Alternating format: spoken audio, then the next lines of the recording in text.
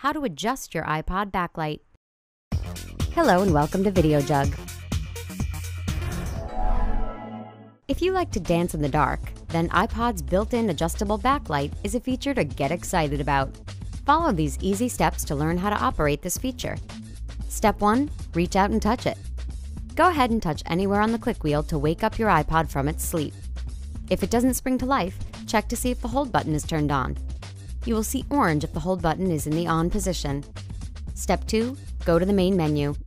Keep pressing the menu button until you're brought back to the main menu and scroll down to the settings. You can make this selection by clicking on the center of the click wheel. You will be brought to the settings page on your iPod display.